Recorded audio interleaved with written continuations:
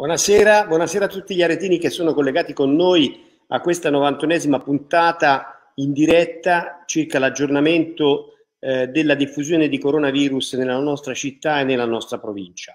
Cominciamo con i dati cittadini. I contagi giornalieri, quelli riferibili a oggi rispetto a ieri, sono uno, uno soltanto. Il giorno precedente, ieri su ieri l'altro, erano zero. Purtroppo però durante la settimana si è notato un numero di alcune unità ogni giorno per cui l'incremento settimanale rispetto a lunedì scorso oggi è più 15 eh, persone, 15 contagiati, il che porta il totale cittadino a 187 contagi da inizio epidemia. Lo stesso dato riferito invece alla provincia porta più 56 contagiati in una settimana, il che porta il numero dei contagiati in provincia per la prima volta a superare il migliaio di unità. Oggi i contagiati in provincia sono 1027 e ogni giorno ne abbiamo avuti due ieri, nove il giorno precedente, sette, tredici, dodici, quindi un numero sicuramente eccessivamente elevato. Per rimanere al dato cittadino, mi preme ricordare che questi più 15 che portano a 187 contagi settimanali, diciamo i contagi totali, in realtà portano ai soggetti quarantenati oggi 262, il che è un lavoro significativamente elevato per il comune di Arezzo. Da tener conto che in questi 262 abbiamo ben 54 da inizio pandemia eh, minori e questi sono aumentati nell'ultima settimana, cioè oggi rispetto a, a, ieri, di 20 unità che sono la classe della, eh, della scuola nella quale un insegnante è risultato positivo. Quindi l'intera classe è stata messa in quarantena. Ovviamente è stata messa in quarantena venerdì i dati si sono avuti oggi e quindi oggi sono entrati nel numero, della, eh, del, diciamo, numero che rappresentano la statistica. Prima di passare al dato regionale, quello che mi preme darvi come dato, salvo poi il commento che facciamo tutti insieme, è quello che sta avvenendo nelle nostre strutture sanitarie. Infatti al San Donato, dopo settimane che eravamo con praticamente assenza o quasi di degenze relative al coronavirus, abbiamo più 10 soggetti i, ricoverati in malattie infettive e più tre in terapia intensiva, il che vuol dire che il coronavirus sta arrivando dalle quarantene all'ospedale. Questo significa che la situazione sta progressivamente deteriorandosi. Passiamo al dato, al dato eh, regionale. Eh, il dato regionale ci porta a una differenza giornaliera oggi rispetto a ieri, ma ricordo che oggi è lunedì, quindi lunedì sono sempre più bassi i contagi che si verificano perché i tamponi del fine settimana sono sostanzialmente più bassi come numero rispetto a quelli che si fanno durante la settimana. E comunque oggi rispetto a ieri sono 84. Il numero totale di, 40, di mm, eh, ehm, contagiati in regione toscana dall'inizio pandemia sono 13.896. Il dato, diciamo, mm, questo sicuramente importante, non dico allarmante, ma importante degno di attenzione è il dato settimanale della regione toscana che porta a un incremento di più 723 casi in una settimana, veramente tanti. Se andiamo a leggere, prego la regia, il nostro amico Giovanni Bonacci, di far scorrere il sottopancia con il dato nazionale, noi vediamo che i positivi nazionali di oggi rispetto a ieri sono più 8, 981, che portano a un totale di, eh, io ho numeri leggermente diversi, di 45.079. Vedo invece il dato riportato da Giovanni è no, più 937 e quindi un totale di 44.098. Non so perché c'è questa differenza. Ehm, purtroppo i deceduti anche aumentano, più 17 rispetto al giorno precedente e quindi 35.724 sono gli italiani che non hanno superato il coronavirus. Se andiamo ai guariti scopriamo che sono aumentati di 352 unità, portando a un totale di 218.703.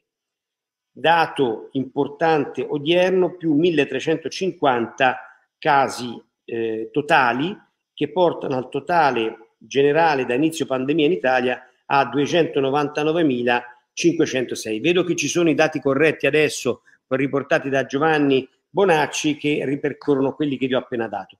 Quindi dati significativamente in crescita. Pregherei a questo punto la regia di farci vedere un po' di grafici su questi numeri. per poter fare un commento generale. Commento che riguarderà sicuramente Arezzo e la provincia, ma sicuramente anche quello che avviene in Italia e purtroppo quello che avviene in Europa e un po' anche nel mondo, perché voi sapete che questa è un'epidemia di tipo mondiale. Allora, questo è il dato positivo cumulato eh, del comune di Arezzo, dove si riconosce con chiarezza, chiarezza un andamento a partire dal 21, 22, 21, 28 agosto, quindi da fine agosto, eccolo lì, bravo Giovanni, un incremento, un'impennata di casi eh, eccessivamente elevato. Vedete come la pendenza di questo ultimo tratto è addirittura maggiore rispetto alla tendenza in crescita dello stato iniziale quando eravamo sotto lockdown. Quindi il, il trend è maledettamente più elevato rispetto a quello che era allora e questo ci, ci apre sicuramente una preoccupazione elevata. Vediamo il grafico successivo. Positivi giornalieri, anche qui si vede bene come c'è stata una recrudescenza dei casi giornalieri eh, che porta a numerosi casi giornalieri ad Arezzo di diverse unità. Non si raggiunge il top che abbiamo avuto il eh, 17 di aprile con 10 casi contemporaneamente lo stesso giorno, ma 9 sì l'abbiamo avuto due settimane fa. Quindi siamo in una, una fase sicuramente poco eh, gradevole. Soggetti in quarantena, il dato cumulato, lo vedete qui, è cresciuto nuovamente a partire dai primi di agosto ed era inevitabile visto l'andamento dei contagi. Andiamo avanti. Credo che abbiamo un grafico sì che ci dà in provincia di Arezzo il dato cumulato, anche qui vedete come c'è un'impennata dei dati eh, positivi eh, che fa capire come in realtà questo problema non sia un problema della città di Arezzo, ma un problema generalizzato in provincia. Andiamo avanti. Ci sono anche dei dati europei, se non ricordo male, di averli visti poc'anzi, e anche dei dati eh, diciamo che rappresentano il globo terracqueo con colori diversi a seconda del numero. Eccolo qua, questo è interessantissimo è il caso che rappresenta l'area eh, dell'Unione Europea, EU, l'area dell'Eurozona, EEA, e l'area e, diciamo, il, um, il Regno Unito. Allora si vede come, e questo è molto interessante, addirittura i picchi di contagi di quest'ultimo periodo siano addirittura maggiori dei picchi di contagi che avevamo avuto durante il periodo, eccolo là, del lockdown. Il che vuol dire che sta ripartendo tutto in maniera drammaticamente veloce i paesi che hanno il maggior problema in questo momento sono la Spagna, lo si vede con il colore giallo, sono la Francia con il colore grigio scuro e quel verdino che vedete lì tra mezzo è la, il Regno Unito. Eh, siamo, L'Italia non è così male in questo momento rispetto a questo panorama, ma ricordiamoci che le frontiere sono aperte, quindi in realtà un problema di trasmissibilità di questo maledettissimo virus oggi esiste. Se poi guardiamo credo che sia il prossimo, il dato eh, geografico mondiale, eccolo qua, l'abbiamo visto anche una settimana fa. È un dato allarmante, questo è il numero di casi per 100.000 abitanti negli ultimi 14 giorni, nelle ultime due settimane. Allora, vediamo che l'Italia ha il colore giallo chiaro, eh, abbiamo una media di circa eh, 20 casi eh, per 100.000 abitanti negli ultimi 14 giorni. Guardate come, ormai la, il, il, Sud America lo sapevamo, è marrone scuro, più di 120 casi per 100.000 abitanti. Gli Stati Uniti stanno relativamente male, vedete sia gli Stati Uniti che l'Alaska eh, sono messi relativamente male, sono a più di 120 casi per 100.000 abitanti, ma il dato che ci interessa forse più da vicino di tutti è quello europeo.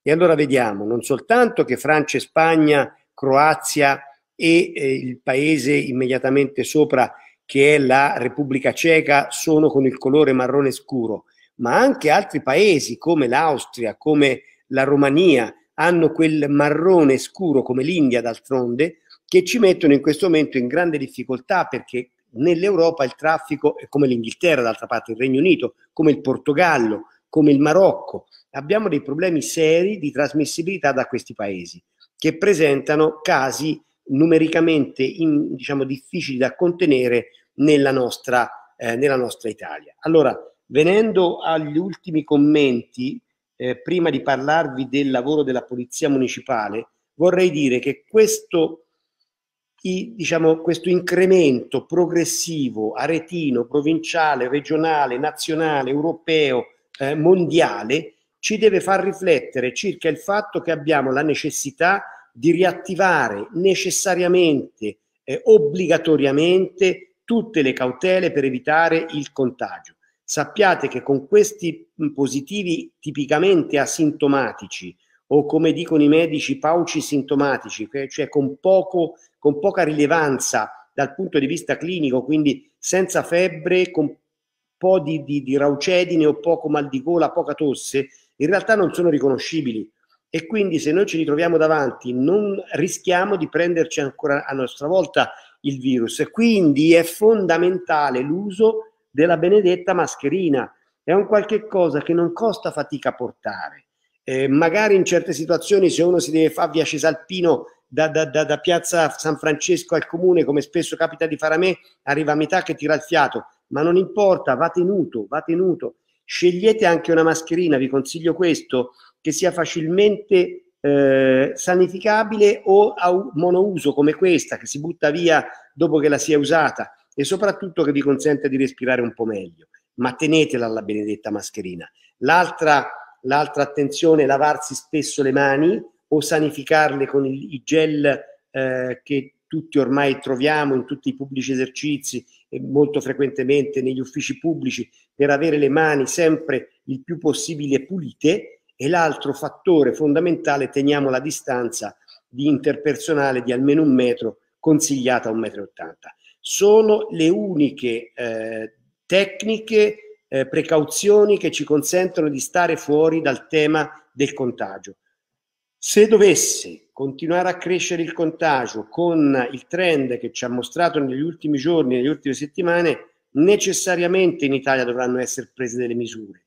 E come vi ho detto più volte, le misure che sono state prese di chiusura generalizzata del paese, il lockdown dei mesi di marzo, aprile, maggio, non sono ripetibili perché se fossero ripetibili nuovamente e dovessimo veramente andare a una chiusura generalizzata, questo paese chiude bottega il, la nostra città non avrebbe modo di rialzarsi una seconda volta da un'altra chiusura. Quindi dobbiamo fare di tutto per tenere il contagio lontano da noi. Fatemi dare le ultime notizie riguardo a quello che ha fatto la nostra polizia locale che è sempre sul pezzo.